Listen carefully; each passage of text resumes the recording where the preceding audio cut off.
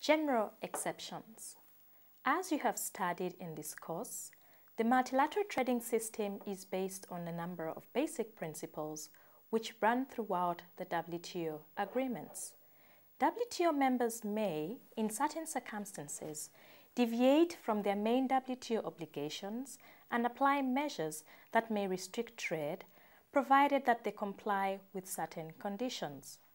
One of the main provisions that allow members to depart from their WTO obligations is called the General Exceptions, which is contained in Article 20 for trade in goods and Article 14 for trade in services.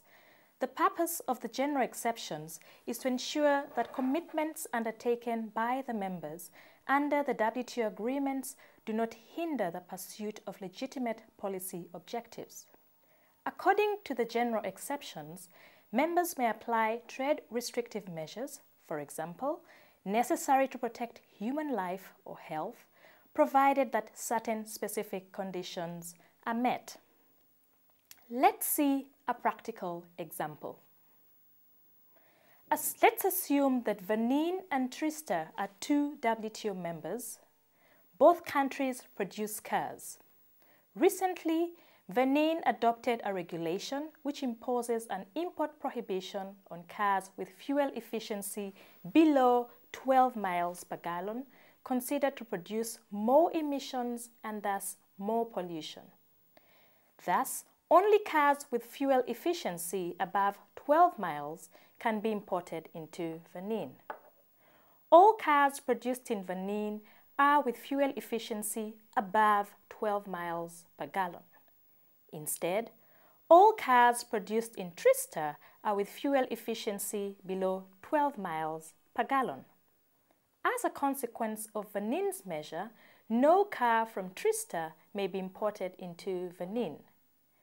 Trista considers that Benin's measure is inconsistent with WTO rules, namely Article 11, Paragraph 1 of the GATT, which is General Prohibition of Quantitative Restrictions, Benin argues that its measure aims at protecting human health as well as reducing air pollution. Is Benin allowed under WTO rules to apply such a measure? In principle, yes. Under WTO rules, Benin has the right to apply trade restrictive measures in order to protect certain policy objectives, but it has to comply with certain conditions.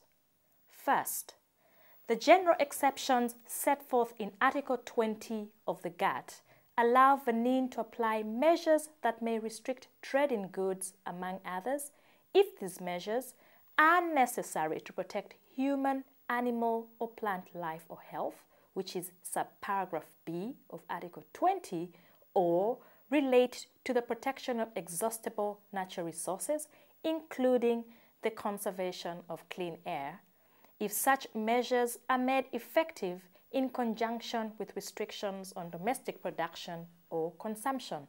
This is in subparagraph G of Article 20 of GATT.